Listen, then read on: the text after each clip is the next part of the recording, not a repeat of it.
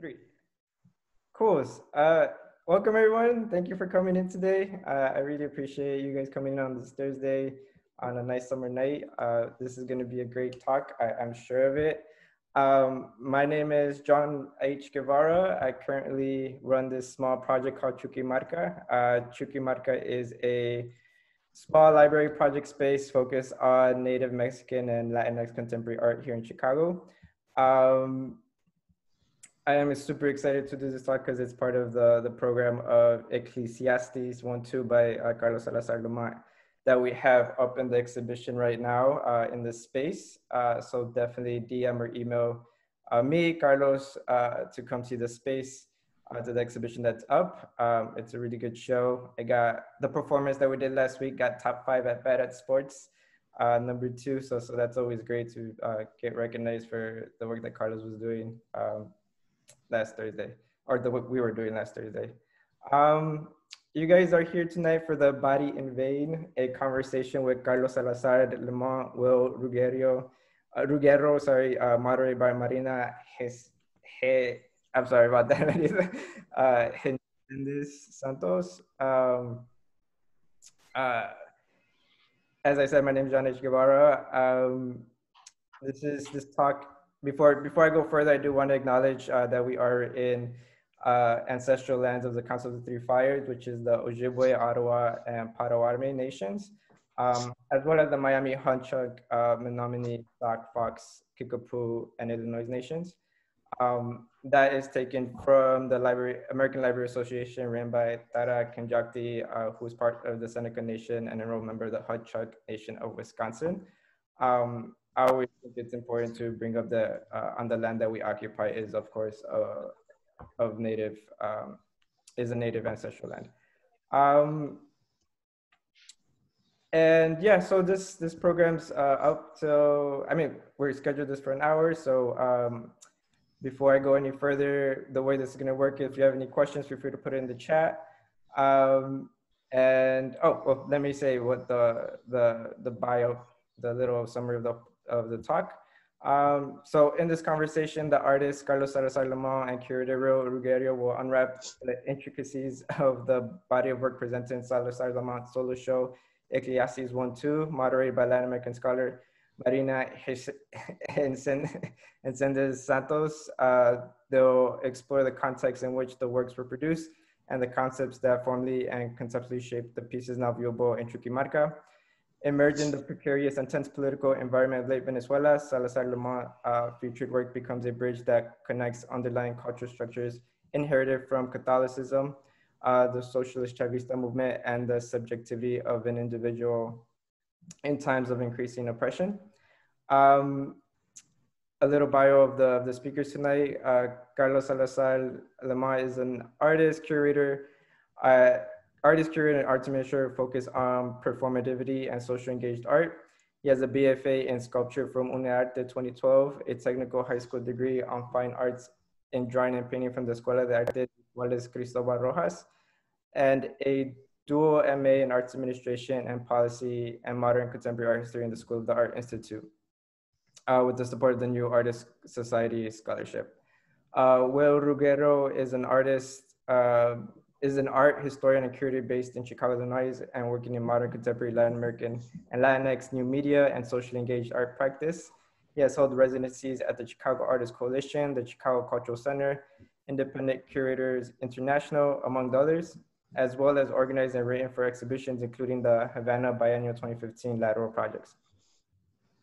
Uh, Marina Hensig, I'm super sorry, Marina Santos is an art writer, editor and research focused on the cultural history of Latin American modernity, social practice, and the built environment.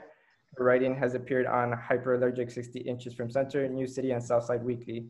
Uh, Marina holds a degree in comparative literature from the University of Chicago. Um, and yeah, I guess without further ado, I'll pass it off to Marina. Um, as I said, any question, comments, feel free to put in the chat. Um, I'll be moderating that or getting into that. Um, and yeah, enjoy the talk. Uh, Marina, take it away. Hi. Everyone, I'm Marina Resende Santos. I use pronouns she, her. Um, and yeah, I will emphasize, like John said, uh, just put any questions in the chat if you have them. Um, I think I wanted to start by making some remarks, just dropping some words that I think are important for this show in general. And um, if some of you haven't had the chance to see it yet or don't remember how it is, I think we're going to soon share the screen from Chuquimarca website so that we can see what the works we're talking about. Um, so to me, what's interesting about this work, there, there, are a few things that really stand out for me and that like help create the narrative that it is. One of which is that it, this is all work that Carlos did in Venezuela leading up to, the, to when he came to Chicago. So it's work that many of us in Chicago haven't known yet. Like B, I have, and I think most of us have seen Carlos as an art administration student at SAIC and a performance artist. But these works actually have a very strong visual, non ephemeral component. That's what they're meant to do, coming also from a performance practice. So I would love to talk today with Carlos about um, how you came to this practice of creating photo and video, photography and video uh, that speaks to performance. And as I would say, it contains the gesture or the action of performance, but it tries to do that in a way that's not ephemeral, in the way that a performance is a time based event can be. Um, I'd like to, what I think is important for this is that these are not, these don't appear as performance documentation, but really as compositions in themselves, right? There's this, something that Wil Ruggiero likes, likes to call this Baroque composition, very intentionally uh, using chiaroscuro or, or even tenebrism with this like high contrast of deep dark shadows that are really created through the camera. So this is only possible, I would say, through the apparatus of photography and film. Um, the other point that I'd like to make that I think is super important and almost like what's hard to understand and needs to be unpacked through a conversation like this is that on one level, um, this reflects obviously like a religious heritage that is part of cultures in Latin America and Venezuela, Catholic heritage. So the knowledge of this book, Ecclesiastes, and what it says about uh, everything is meaningless or vanitas, um, and also a knowledge of art history and not vanitas is in art history. So in, in some ways, it's interesting to look at all the works in this show as we go through this conversation as versions, modern versions of vanitas or of paintings that sort of signify the, the ephemerality of pleasure, of flesh, of life, and of anything material in life. Uh, and or as memento mori, which are really reminders of death, that you will die, um, but in a modern interpretation. So it goes through that heritage, it goes to the existential levels of that kind of reflection about your body, but it's also deeply political and um, and that's what's perhaps more, most missed, I think, by someone who doesn't know the context of Venezuela in the past 10 years, or by someone who doesn't what some products there would mean, or even for someone who doesn't know what it would be to be an activist, a politically active person, as Carlos was, um, in a country that was living a left wing dictatorship. So, in a country where you're confronting all the time the ideals, like the, even the historical narrative that's implied in socialism and communism and, and its failure and trying to imagine uh, a non-neoliberal alternative to that. I'll add on to that just to spice it up that what's important for me in my research is that um, I think Latin America has a great virtue and the great burden of not being able to hold some ideals of material progress that somehow the United States have been able to join even as also a colonized nation or having a colonial past. And that makes you confront the sort of the contradictions of modernization and of modernism as an ideal, but also as a problematic mm-hmm. daily. Uh, and that has made its way into art since well in the 20th century, like early in the 20th century. But I think it also means that uh, there, we've been attempting, I think, in our historical ideals. I'm from Brazil, so that's the perspective I'm speaking from um, we've been trying to create models that accept contradiction, paradox, rather than solving or resolving them. Um, so, with all these observations said, so in some ways, I think that, for example, in the works that we see in the exhibition in, in, in Carlos's work, there's both a confrontation with the idea of vanitas and would say the um, condemnation on the body that's put on by Catholic tradition, right? This idea that your body, it, it's something that you have to abnegate throughout your life so that you experience peace and salvation in the afterlife. So you have to deny your body, and that sort of um, follows up in a dualism of body and mind. But at the same time, uh, Carlos's practice itself is trying to make the ephemeral into something more permanent uh, and deny part of the vanity. And the fact that these works both work as vanitas, but also try to preserve, I think holds a contradiction that, that is part of this aesthetic that comes from this sort of historical um, negotiation of contradictions.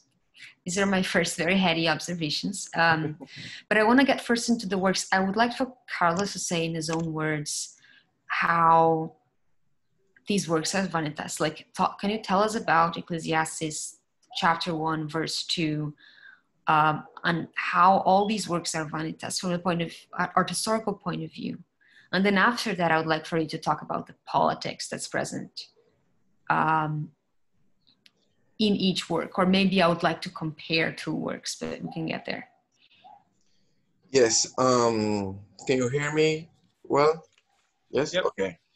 So, well, um, this exhibition has uh, one, two, three, four, five fireworks in in place, and one uh, is a performance uh, that we did last week, and and then developed during the this week. Uh, so it's kind of um, complicated to talk about each one. Maybe we can do it through the the conversation. Uh, but I think uh, that all these works uh, are vanitas um, in a general uh, way of speaking um, by addressing the ephemerality of life, right? Um, some of these works make a very um, uh, literal reference to the vanitas. Um, so for those who are not familiar, vanitas is this subgenre of still life that is inspired on the Ecclesiastes first chapter, second verse, which says, vanitas vanitatum et omnia vanitas, right? So these works, um, all of them address the ephemerality of life. Uh, and because of this ephemerality, the vanity of things that we feel like are uh, very important, very uh, oppressing, something that is like on our shoulders, like power, um, or the need of pleasure, the need of wealth, the need of knowledge and wisdom.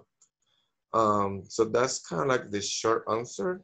Uh, maybe elaborating more, we can go into like specific words, like et omnia vanitas, that the title is quite uh, explicit, but then you see that it has elements uh, like, for example, symbols of human labor. That is one of the uh, iconographic elements of the traditional vanitas.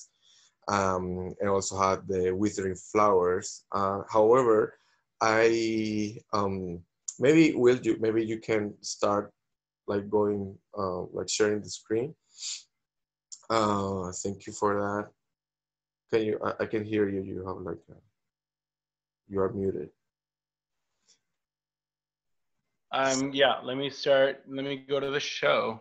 All right. And okay. So, um, so, so there are some of the specific symbols, but at the same time, I, uh, change some of them for for, for other things that may have like more personal um, meaning for me. Um, so, uh, for example, one of the main elements of vanitas is the skull. Um, so I get rid of the skull, but I insert myself um, as a body that is uh, meant to. Which word do you like, Carlos? Uh, maybe we can uh, show, I was talking about Omnia Vanitas in this case, because um, was explaining like how this was Vanita. So there's no skull here, like uh, it would be in a, oh, the previous one, yes. Like it will be in a regular Vanitas, but I, I put my body, uh, and it's a body that is being um, uh, ripped, is, is, is being uh, cut somehow, right? as you can see in this work, I have uh, some rings that are uh, pierced in my skin and I use these rings um, to tie the flowers to my to, to my chest with um, my shoelaces. Mm-hmm. Right. So so so I take some things that are like familiar in Amanitas, but I trade it by my own body. So that's like kind of like the the modus operandi of this series of work. Uh, some other works like Ichthys or um, Feasting, there you can show what some of them. It has a, uh, also like this video has a specific uh, reference to still life when you see like this um, like dead food animals like fish or like uh, hares or rabbits um, or you see fruits and, or, or that kind of stuff. So this is like a simplification where I just go to one element, in this case, fish, uh, and in another word, I will use like the chicken and so on. So this is the short answer. Maybe we can start overlapping as we keep going.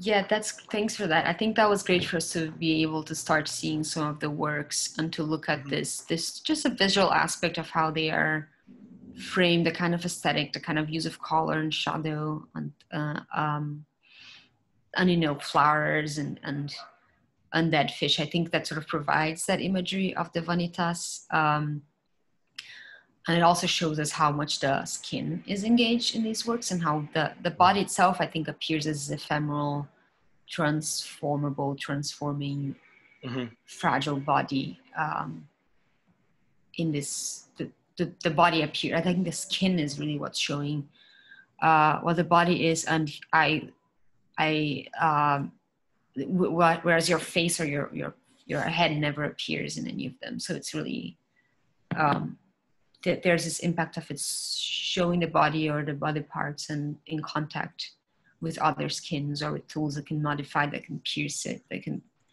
um, so i can we talk about maybe that's going a little bit in the order that you find when you go into the space um, rather than the chronological order but i would like to talk about two works in comparison that i see have um, um, political content. One of them is fisting, which is with the chicken. And if you could describe briefly how that has to do with what was going on in Venezuela. Um, and then if you would like to talk about Ichthys or about the work with the first work with the inkless tattoo um, and how that was a transformation of how you were treating perhaps a similar subject um, but but like with a different involved political involvement. All right, uh, let's go to feasting. Let's see. Sorry, let's go up here. Do you want to do this in the space, Carlos? This one? Yes, I think that that's okay. So there it is. Uh, the one to the right is feasting. Um, this work uh, as you can see, is a picture of my arm going through a chicken. Um, better. So it is um, the result of a series of performances in which I took the chicken and I, I, I took advantage of the anthropomorphic, um, uh, uh, yes, morphology of, of this chicken uh, to uh, use it as uh, like an object of domination uh, or object of aggression somehow, right? So this picture is uh, like I decided to take like one fragment of a performance in which I went through the chicken like this. And it was like the climax of that performance. And I decided to make this image uh, as a way of like kind of like summarize um, this series, uh, like concentrated in just one image. Um, so the frame, like the background of this work is we are talking about Venezuela in the last uh, 20 years. Um, back then when I did this work, um, well, actually when I did this picture, Chavez was already dead, but in the previous years, Um, we're talking about a Venezuela that has uh, a lot of income, like a state that has a lot of income because of the high oil prices. So Chavez was in power back then and he had a lot of money to spend. And one of the things in which he spent his money was on importing food from Mexico and from Brazil um, and selling it uh, by very low cost, um, probably like cost price or maybe sometimes even free. So of course, like if, if you are giving food away for free um, or for very, very low price, it's, it's very hard to get defeated on elections. However, while Chavez was doing that, he was uh, also destroying the legal frame and changing the institutional structure in a way that will allow him to stay in power forever. Um, and also destroying the national productive system by nationalization and expropriation and a lot of other stuff. But since he was giving free food, for me as an activist and for people who was trying to resist to this process of totalitarian or authoritarianism, uh, it was uh, uh, like a failed struggle. Um, so one of the the products that Chavez would sell was the chicken. Um, so people would line for hours to get this uh, very low price chicken and for blocks. Uh, so the line for the chicken, like people line for chicken became an everyday thing. It was like our everyday. Um, and also like in Spanish, or in Venezuela, we say to mean like we're lining to get a product, we say we uh, uh, hacemos la cola. It's la cola del pollo. So like la cola del pollo means the line of the chicken. Uh, so there's like a language relation of this thing, like this phenomenon with the word. So for me, this chicken became an instrument of oppression, an instrument of domination. Uh, so with this series of work, what I was trying to do was to subvert the power relation of this object with myself. That is also like this body, right? So there, that's what why there were like so much violence in in these performances in these works, right? So the result is this image that you see here. Mm-hmm. You want to add something to that, Wil? Or um, no, I think yeah, no, uh, no, I think you got it. I, I, I also, I mean, what we've talked about before between between us as you know, as well as Marina is um, the kind of delicacy that you approach the with the action, right? In that the vulnerability of like both your skin and the chicken skin. I think in the kind of easy tear, but also the gruesomeness of the fact that as actually as your fist is going through it, it's like spinal bone is sticking out. Um, so I think I think that um, also how you were saying it, like you know, haciendo la colita del pollo is one kind of like actual phenomenon of waiting in line for a, a chicken, like literally a chicken. And then we were talking about the interplay that it plays into like um, a potential power play that could be dominating, you know, submissive. And the haciendo la colita del pollo is also like la cola, like the tail mm-hmm. of an mm-hmm. animal, and you're kind of bringing in um, maybe like you're flirting with the language, you know, of of like sexual practices or like deviant practices of because you also call it fisting. So it's mm-hmm. it's a mm-hmm. kind of obvious claim, and I think you're kind of you, the violence is pretty intentional in in I think in your in your language. Yeah. Um, if I can interject, I think it would be interesting to hear something that fascinated me a lot um, was how if you could look at each, so that's very interesting because um, this is a work specifically that I think has a different reception for someone who doesn't have that association with the chicken, right? Um, but it also just it, it also evokes a lot, I think, that of this like sense of violation, sense of transgression, mm-hmm. of like a relationship with something that is food, Um, and I think I, I would actually be curious to hear what Wil thinks, how Wil would articulate that together with Vanitas as a theme that's kind of more closely pursued by some of the other works. Right. Uh, because in some ways I have my own version of how um, that would be in terms of what this material substrate uh, becomes this tool or becomes this weapon for power.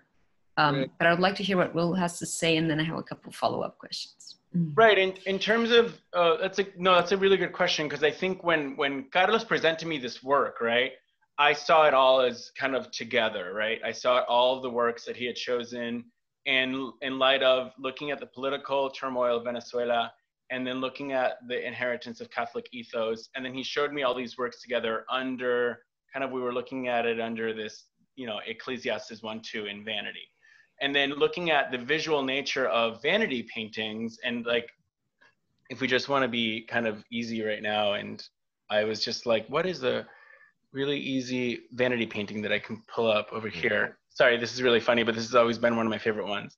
Um, like this this one over here um, where vanity paintings themselves were objects right? They they were about showing off riches and they're showing off wealth and you can look at the entire social history of vanity paintings in Vanitas as it's really it's, really quite fascinating. And they always have an element for example if you see in this one there's a butterfly because it's the fleeting element of the ephemerality of, of life. But when i saw it the first thing i thought about was okay i'm thinking of chickens and food in vanity paintings. Um, and the same thing with ichthys the the the video with the fish, right? I saw of I saw a um, a fish kind of living within within um, within a vanity painting. So I thought of what happens in this kind of like political dejection that this food has rotted and and, and conceptually rotted, um, or conceptually not become food or not edible or in a way against humans or against people so I think that in a way I started seeing it in that sense. Um, and kind of like in a horror display of like how vanity paintings were once these like beautiful arrays of of even though they were human folly, they were kind of beautiful in their collection. I saw quite a quite a lot of like political depression and a lot of like power in the fact that they were just like it was just a flopped object. Um, and I think I started thinking of vanity in that sense um, too. If that, you know, if yeah. Right, because I was about to mention Ichthys as well. It's a work that I find very interesting because if you can quickly, if you can first look at uh, Rigor Mortis, I think in some ways it's like the most crystalline form of Vanitas as a message that we find in this exhibition. Uh, it's the hands of the same person. One of them has been sort of strangled with a tourniquet and um, lost blood circulation, so it looks like a dead body. It's essentially what happened to a dead body after blood stopped circulating. Um, so it kind of makes this very clear parallel against a, a white background. Um, now, if you look at Ichthys, I think there are, and especially after talking to Carlos, there are many other topics mixed in there. Um, and it is also has the political content, but it deals with it in a much less straightforward way than uh, the piece with the chicken, than, than which is translated in English to fisting. So if you could talk a little bit about that, Carlos, if you could talk quickly about it. I think it's hard, but it has it ties in with what I was thinking about uh, having to deal and live in and internalize paradoxes in Latin American culture. Mm-hmm. Um, and in this, specifically in this case, with the image of Jesus, right? Or with what that would represent in terms of an attitude. So if you could tell me about that. Yeah, actually, well, uh, I think in Chuquimarca there's the video, so maybe you can play it. I Yeah. hope it's possible. Yes. Um, I'm gonna go back to. I'm gonna just stop this, and then I'm gonna go back to sharing it. all right, good. Um, so you will see in a couple of seconds this work. Uh, is you see the screen will be divided into sides. One side has a fish, the other side has my body, right? Um, so in the fish frame, I'm uh, pointing at it and just pressing it uh, until I actually get through it. and in the other frame, I'm doing kind of like the same in my chest. Uh, so I don't go through myself, but I leave like a um, a marca. How you say like um, a mark, uh, like a yeah. puncture mark. Yes, a puncture mark. So um, so in this work, uh, I use the fish as a way to refer to the Christian symbol of Jesus Christ, which is a fish. Uh, and the origin of this symbol is because uh, Ichthys, uh, which means fish in Greek, is an acronym of Jesus Christ, Son of God. Uh, so the problem, my problem with the figure of Jesus Christ um, is that it is a model um, based on martyrdom, uh, self-sacrifice, um, poverty, and also it's like a messianic type of leadership, right? Uh, and for me, this model of self-sacrifice of and poverty and becoming a victim to reach salvation, for me, it's a failed model that is eh, embedded in the Latin American culture. So for me, is is that's problematic because as a Latin American, as a Venezuelan, and, and as a part of a whole region that has had so many challenges during the last centuries, I can say that one of the challenges we have is like how to beat poverty, how to uh, develop our society uh, and our econ uh, economic and political system. But if your model of realization is being poor and being and self-sacrifice, you like how are you ever going to achieve that? It's just contradictory. So the only way that we can actually uh, overcome uh, or or failures and uh, and yes, and like the the, the past uh, experiments that didn't work is by actually rebelling against that. Is is saying why should i sacrifice myself?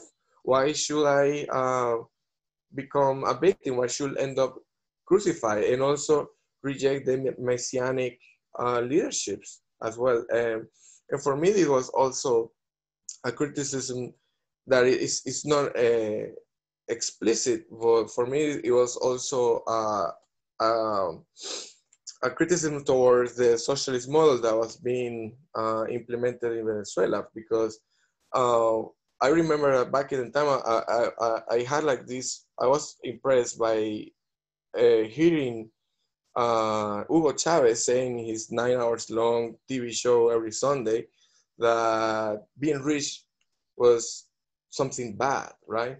And then you go to the Bible and you find that uh, Jesus Christ say things like, first will a camel go through um, the eye of a, or the hole of a needle before um, a rich man or a wealthy man would um, reach the the reach heaven, right? So so separating the criticism towards uh, figures that have accumulated a lot of money and power uh, in very uh, like um, uh, problematic methods, right? In general, as a society, it is important to think that it is is something it is legitimate to wish for wealthiness. It is legitimate to to wish for becoming a wealthier society and and then change focus from the people who who were our victims to a model of how do we become wealthier? How do we become uh, uh, uh, yes, a, a more a, pros, a, prosperous society, a, a thriving society. Yeah. Yeah. Um, well, if you have something to say, um, otherwise, I would like to talk about the piece, the two pieces with the inkless tattoos that you did. Sure. Yeah. First, yeah. The memento mori vanitas. Yes, and then also the one that was done on Thursday. I think it might be a point where we can talk about somewhat of a contradiction of the idea like there's a body that's healing there, which is interesting, right? Even though it's being there, it's like methodically perforated and hurt. Um, and also, as you say, it's but it's at the same time that you heal, you're coming closer to death. Um, but I would like to talk about the connection of that to you repeating a work or continuing this work last Thursday, since these works were done between 2013 and 2016. Am I right? So eh, they would seem like early works or older works, but somehow there's this continuation through producing this show here and through doing this work on Thursday. And that relates to the line that you chose of Ecclesiastes. Uh, but also, I'd like to talk about these um, with relation to, if we can get to that, if we can go that deep, to models of history that we've been talking about and that are implied through certain political doctrines, because I think that makes the existential point of our own mortality and the existential point of salvation after, and the religious existential point of salvation after uh, death and everything, also political because it relates to versions of how the history of humanity should or does develop. So okay, I'll let you guys take that. Carlos, do you want to explain just what the performances are? Uh, the performances, do you mean in Memento Mori? Yeah, just like what the triptych is. Yes. Um, so um, uh, in this work, uh, I um, I ask um, tattoo artists to write the words Memento Mori and Vanitas in my skin using an inkless, inkless tattoo uh, machine, right? So in other words, to make an inkless tattoo, a tattoo that is meant to disappear, right? So you see in the triptych the pictures of the inkless tattoos when they were just done, and then there is the documentation of the healing process. So the performance goes from the moment where the, the tattoo is made until the moment where the tattoo is, is finally healed, almost leaving no trace, which is like a little bit shorter than a week. So um, I'm seeking, I, I, seek to, to uh, take advantage of the paradox created here to create like this poetic effect of, for example, talking about uh, death by a process of healing, right? Is like the paradox that happens when we, we realize that as we are healing, we are actually closer to our own death, right? That's one part of it. And the other part is the inkless tattoo as something that normally a tattoo will be something thought to become permanent. Uh, but actually, this is a this is a tattoo that is meant to disappear just as life. Life feels like something that, that is so heavy, so um, so important, right? Like, uh, but actually, it's something that is uh, like the Ecclesiastes will say is, is vapor, is something that just vanishes, right? Mm-hmm. So, so, so what you will see in the gallery is like these two images of the inkless tattoo, and then you will see the third panel that is the process of healing, basically. So, why did I do this work? Uh, what can I say about this? Is um, well, this is a long story. Um, and it's like a, a lot of reflection behind this. It's like when I was seeing everything coming down in my country, I was trying to understand what is the origin of this. Like I wanted to use my art to address the core of of of this problem, right? Maybe too ambitious, but in that moment, I, that's what I wanted, like trying to to understand that.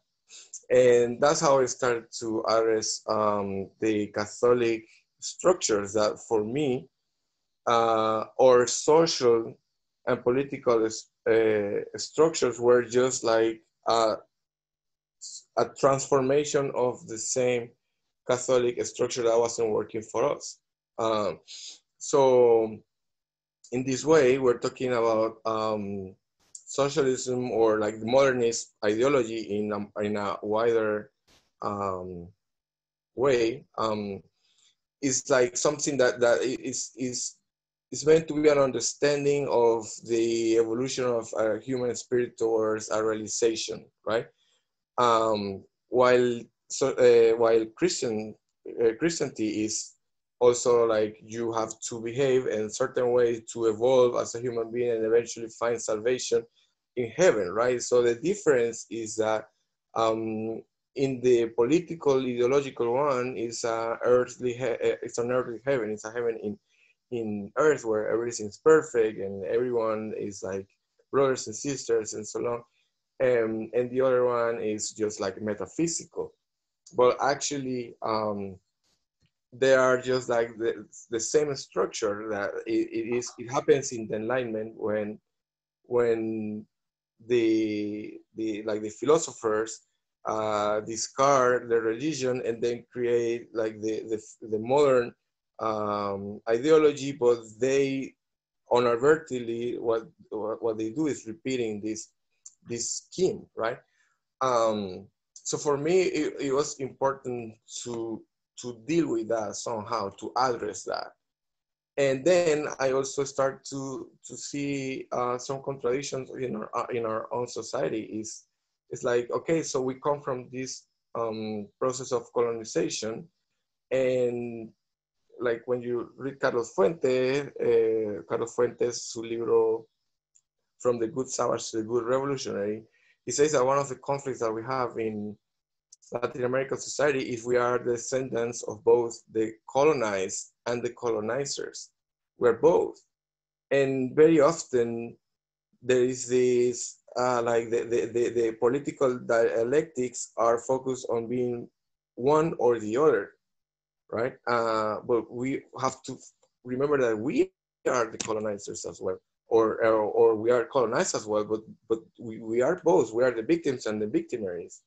And understanding that, it is important for us to kind of like make, make a, an internal truth that will allow us to make a, a next step towards the like a, a model of society that is more uh, productive or that is um, uh, that works better, just to say a word, you know. So, so this this conflict is expressed a little bit in these works in which I kind of like criticize or attack the Christian models, but at the same time, I embrace it. Right? Uh, is like this contradiction of being uh, like understanding that we have these Christian uh, structures in our head, but we cannot escape them, right? Because it's our culture after all, right? So um, this is like my, my reflection frame that gave birth uh, these words, right? So in this specific work, uh, I was thinking that the, the starting point to start this process of re-understanding, re-signifying our own culture was going to the point of, of the awareness of our own death as expressed in the Ecclesiastes, like the Vanitas, as something that we are here in this world, we are going to disappear, we only have this one life, and yes, we can achieve all this um, uh, power or glory or a pressure, the pressures of life or everything, but, but this is going to disappear. So, so understanding that allows us to, to approach to, to politics or, or, or life in general in a more like a stoicist way, uh, which is like a, a approach with which I identify myself. Did that make sense? It did. Thanks, Carlos. I know I asked, like, it was a big lift to go all that way. And uh, I realized it starts to depart a little bit from the images that we're seeing there. And I am actually deeply interested in everything you're saying. But so, uh, John is asking here if anyone has any questions now, because we're about 10 minutes until 8. Um, so that we can continue talking, or would anyone like to see or hear about any other work in specific that we could look at through screen sharing. And if not, I think um, I would like to leave the rest of the time for Wil to talk a little bit about what it was to curate and select these works or to receive the works that Carlos was proposing to show, um, and even a little bit about the sticking a little bit more to the experience of being in the gallery of the visual composition of the works. If there's anything we would like to say. I'll wait for. Do you want me to wait for questions first? Yes, let's. Yeah, yeah. That's uh, if anyone has any questions. I'm gonna stop sharing.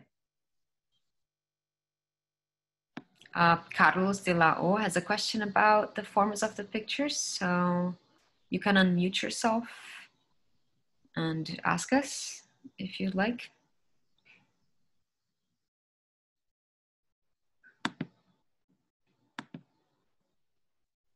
Or can you rate it?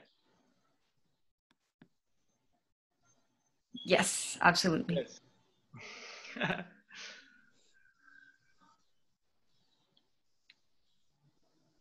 Adelante, Carlos. Pero acuérdate de quitar el mute. Ah, ¿qué tipo de impresión son las fotografías?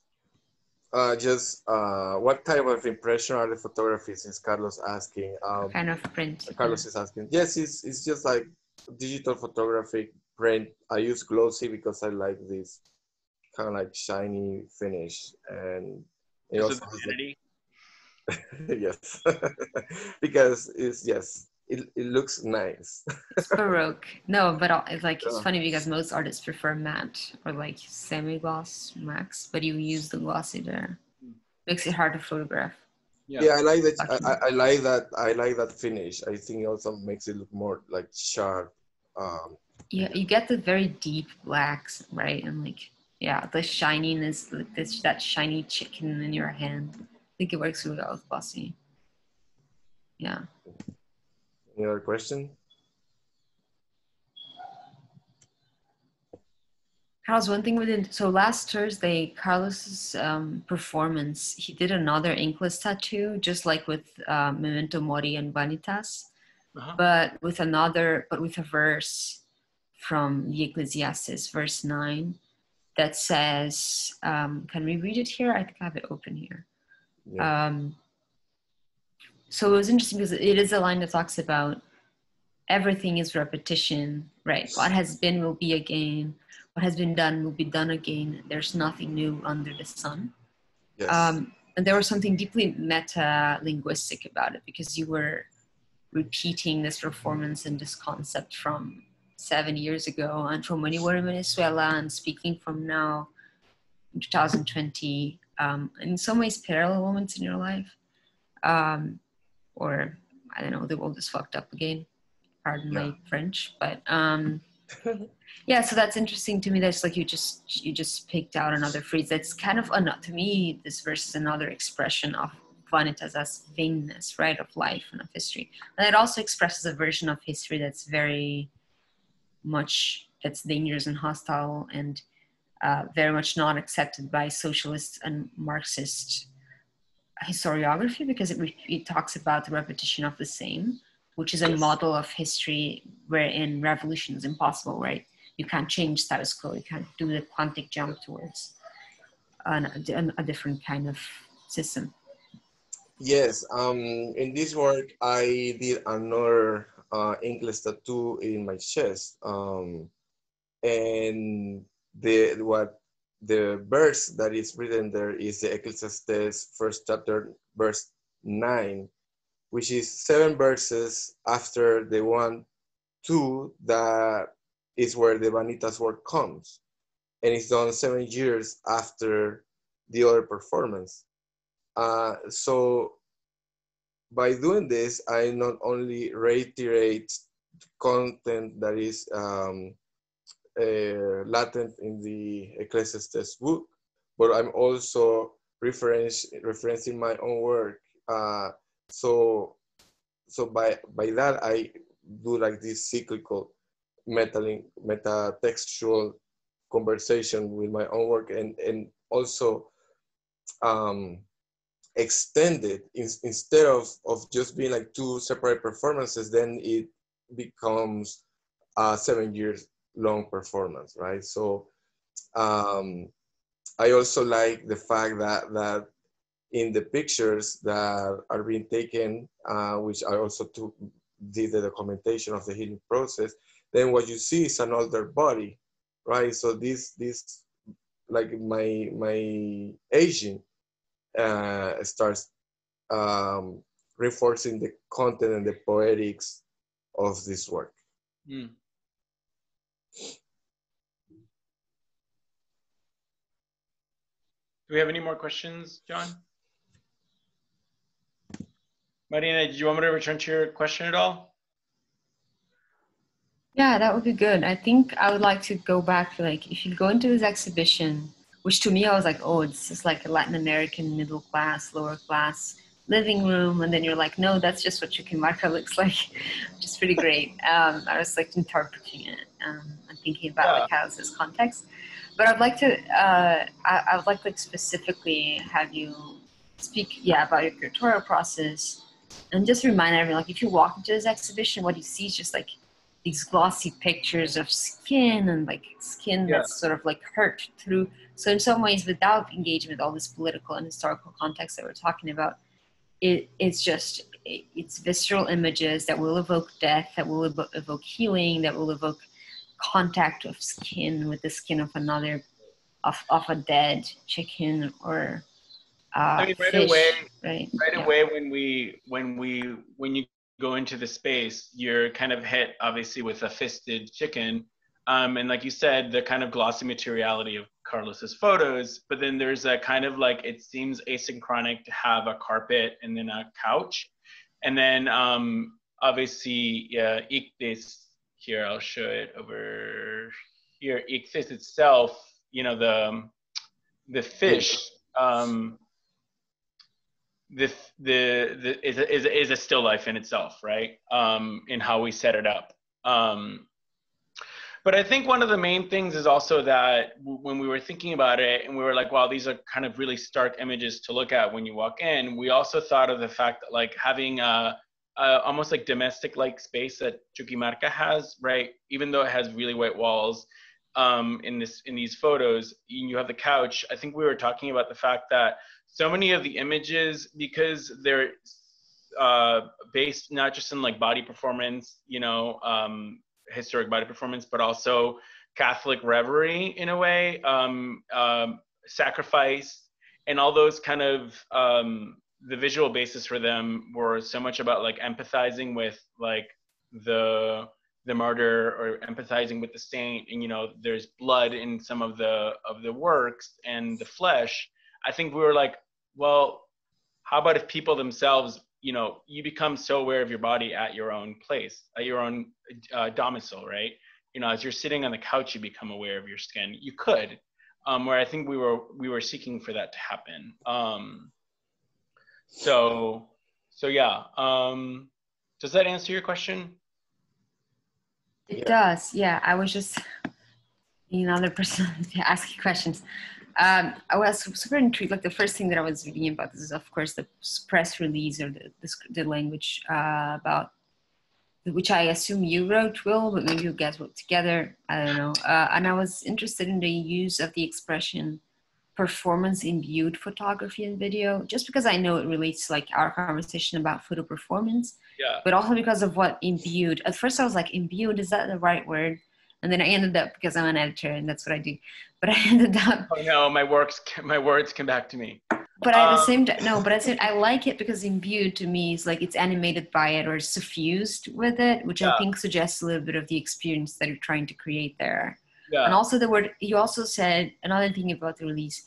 You talk about I think a contradiction between body and matter or body and material, which is super interesting because you're not highlighting dualism of body and mind, yeah. but of body, which is itself so a material, but like supposedly animated by spirit or life on matter material which is so in some ways what you encounter by looking at these pictures without a face or in the other elements that he, that Carlos interacts with like the flower the fish the chicken yeah that, I think that's the last thing I'll say today. No, no, um, oh, thank you for that. I mean, I think that one of the first things that we were talking about in this term photo performance, right, which which isn't that popular here, as we were talking about, was that it's performance performance in photography or the other way around, but really that the effect that it creates is virtual. That we understand that the action, because there's a uh, a, a, gesture to performance, like you said, outside of the photo- of the photograph, kind of lives in and out of it. Um, and and so I, we imagine the kind of action living virtually. Um, and what I mean by that is just outside of it. Um, and then so when I when I saw the the, the reason I word I use the word imbued is because I didn't want to use the word photo performance right away in um, in a press release because it's not often used here. So I um, I kind of just talked about that way. But I think the only, the other reason I didn't want to use the word duality is because I didn't right away want to bring up a Catholic kind of body ethos. Um, I didn't want like want to fully go into like Catholic purity because I think so much of what Carlos is dealing with it's is is skin and the body and kind of like as existentially just kind of um, like a soul force um, in itself and um, he really is non-transgressive to me. Like he the body does not transgress. The body isn't is um, it's not like a still life. You will not be saved by um, it's non uh, it's non-messianic. So i think that that was one of the original things um, that i was thinking about. When i thought of body i thought of a catholic body you know a, a body to be saved. Um, yeah. Yeah Yes, you know, like in, in Latin America, you say for performance, and it's something that is uh, like everyone will understand, at least in like in the art world, and and we can use that word in part because of language, because in Spanish, performance uh, means automatically performance art. Here in the United States, or in like in English talking, you you, you need to differentiate performance art from all the other performances. So, so for us, uh, the, the people who is interested in performance, eh, like in photo performance or video performance, uh, it is very important the um, the performance art component of what we're doing. That it, that is us that we're doing it ourselves because uh, our identity is building up the content that we are trying to achieve with these works right? So, so here in the United States, I guess is is something that is a little bit more like a, of a given. Um, and it's also because like performance means so many so many things. So it's so the thing with this photo performance is that it's it's very maybe not doesn't make sense uh, in translation, but it makes a lot of sense in in their Portuguese and Spanish uh, environment. Um, I think we had a question, right, John?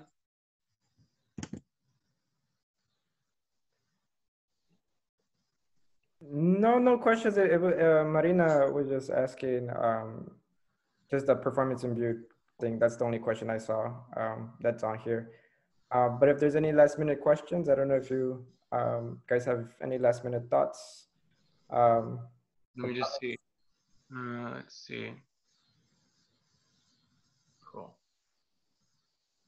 Yeah, I, I, think lastly, something I'll say is that uh, Carlos presents a really kind of interesting uh, point where the the kind of existential approach is very much coming to Latin America from um, that that paradox that you were talking about, Marina, um, and the paradox of like accepting an inheritance, right, but also living with it and maybe living off of it. Um, in that it's the politics of, of purity don't really exist. And um, kind of approaching another space is i think for you carlos or maybe regressing to like the simplest of spaces i think is is something that you're going for. Um, yeah. But by the way um, erica is uh, noting that i made a mistake uh, I say Carlos Fuentes, and I meant Carlos Rangel. Carlos Fuentes is the author of Terra Nostra. Carlos Rangel is, is uh, kind of like. Oh, that's what I thought. Sorry, and, and I've been doing it. Like, I've been doing it for quite a while. And I was like, Fuentes, but it sounds weird. But, but Erica pointed out, sorry for that. It's, it's Carlos Rangel. Yeah, yeah. Thanks, Erica. Carlos Rangel, yeah, yeah, yeah. Yeah. Um, they say when the show ends and how people can visit? Yeah, yeah. Uh, so the show ends uh, at the end of the month, August 30th. Uh, definitely DM or email uh, Chuquimarca, info at chuquimarca.com or just DM us um, to schedule a visit.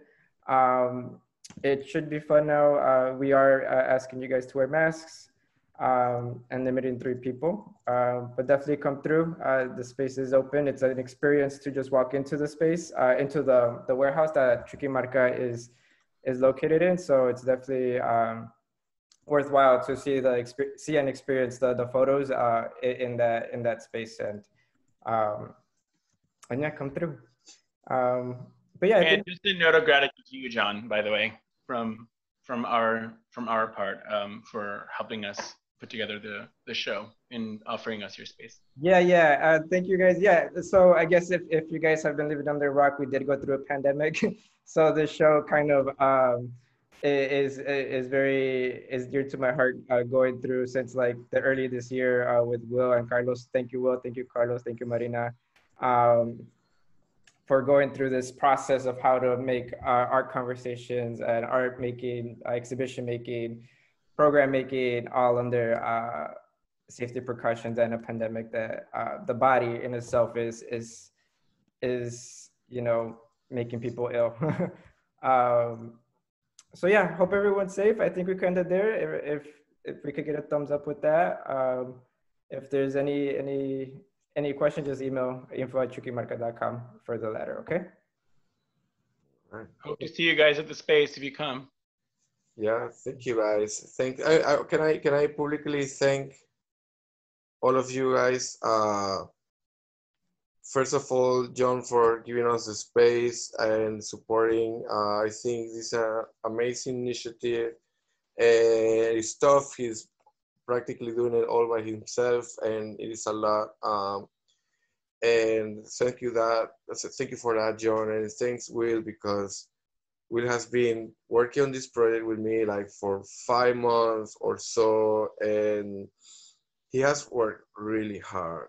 Uh, and and not only this show, like he has been a great support the last seven years since I met him. Um, and so for real, uh, Wil, yes, I'm, I'm really, really thankful. Um, and also you, Marina, for your interest in my work and for your sharp analysis and, and your moderation.